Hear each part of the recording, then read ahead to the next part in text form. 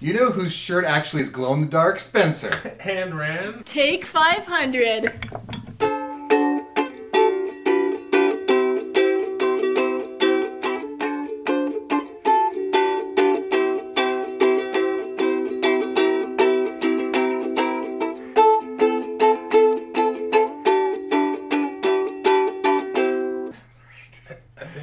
I mean, you're pretty Well, mine trans- isn't. transparent though. That's the, one of the only times that, that saying and ran didn't make sense. That would, yeah.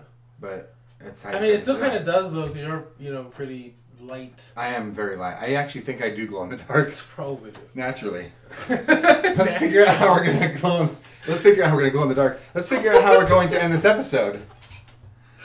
um, let's do cut short.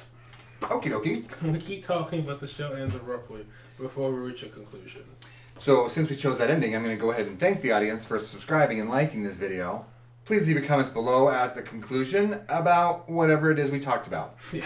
Which t- today is going to be about fashion eras. Yeah. Tell us about this topic, buddy. Okay, so so I know people are always talking about like you know oh what era do you want to live in, uh, but but one Cowboy. thing that people don't mm, one thing that people don't always think about is what type of fashion era do you want to like like because he had like you know the 40s 50s 60s 70s you know 2000s 90s which is a dark era The 90s was a dark era. dark times.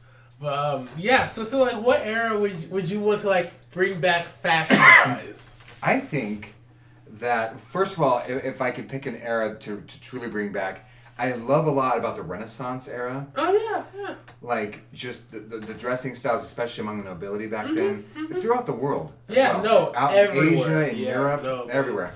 They knew how to to dress it up. Yeah, So posh. but to, to go more to your to what I think your question means, I think like the mid eighteen hundreds, Eighteen hundreds. Okay. like when they had like the like you could wear like the big giant puffy ties and like the knickers.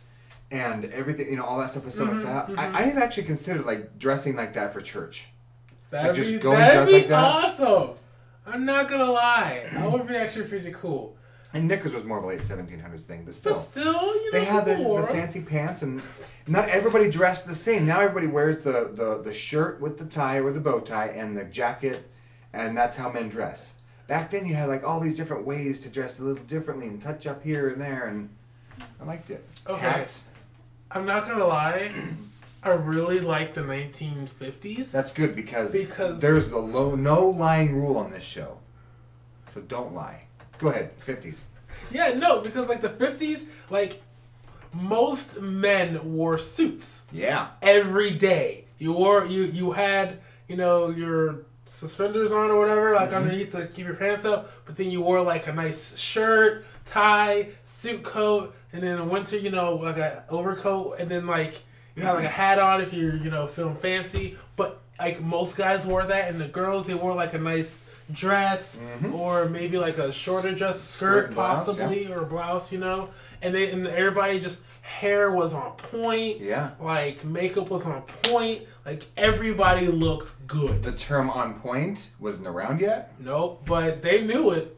They knew what it was. They just didn't know what to call it yet. And it was it was back in a day that you know you you cared how you looked when you went out. It's very true. It was a it was it was a statement that, that Mm-hmm. what you made when you walked out that door. That was who you were that yes, day. and when you went to work, you dressed up because when you dress up, you feel like working. hmm You feel you feel more professional. So you feel like I can do this professional job because I I look the part. Yeah, it affects your attitude. It affects your mindset.